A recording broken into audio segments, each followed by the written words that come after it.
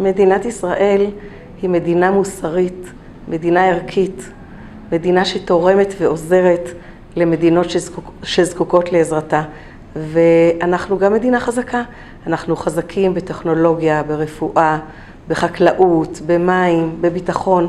יש לנו הרבה מה לתרום והרבה מה לעזור, ואנחנו תמיד מתגייסים למדיד, למדינות במצוקה, ובפרט לידידות שלנו.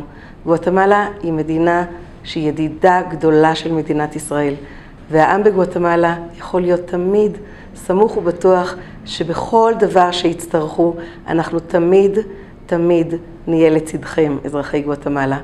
אני רוצה בהזדמנות הזאת באמת שוב להודות לנשיא ג'ימי מוראלס ולרעייתו, הפרסט ליידי פטריסיה דה מוראלס, שהזמינה אותי לבוא ולחוות באמת בחוויה היסטורית, גם של ביקור היסטורי בגואטמלה ושל העמקת הידידות בין העמים שלנו, וגם לקחת חלק בקמפיין רפואי כל כך חשוב, שנועד לעזור בסופו של דבר לשני מיליון ילדים שיקבלו את התרופה המצילת החיים הזאת.